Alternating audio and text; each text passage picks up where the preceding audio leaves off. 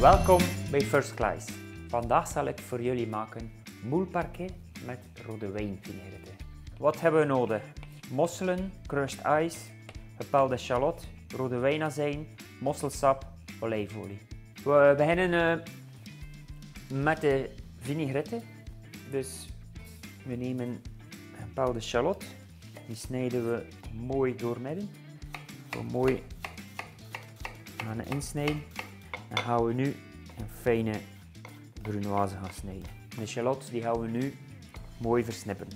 Nu nemen we wat mosselsap. Mosselsap, dat hebben we al eens gemaakt in een vorige uitzending van First Class. Dat kunt u terugvinden op onze website. We nemen 2 eetlepels mosselsap, 1 eetlepel en een half rode wijnvinaigrette en 2 eetlepels olijfolie.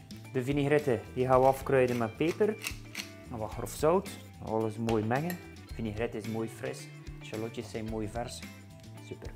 Nu nemen we een bol en daar gaan we koud stromend water in doen. Hier hebben we onze mosseltjes. Wat belangrijk is, dat de mosseltjes mooi dicht zijn. Dat wil zeggen dat ze nog mooi vers zijn. De mosseltjes die gaan we eerst gaan spoelen. Nu gaan we het water gaan afgieten van de mosselen. Nu gaan we de mosseltjes gaan reinigen. Dus we gaan alle baarden gaan verwijderen. Nu nemen we ons gecrushed ice. We hebben hier onze mossels. En de mosseltjes mooi gaan opensteken. Punt van een mes. Mooi tussen de bovenste en de onderste schelp. Steken we ons mespunt ertussen. En eigenlijk mooi en we snijden de mossel. Nu gaan we de mosseltjes kruiden met peper. Peper van de molen.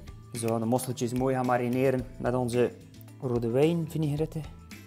En werken af met wat takjes verse basiliek. Moelparquet, oftewel rauw uitgestoken mossel met rode wijnvinaigrette. First class, zeker lekker. Tot de volgende keer.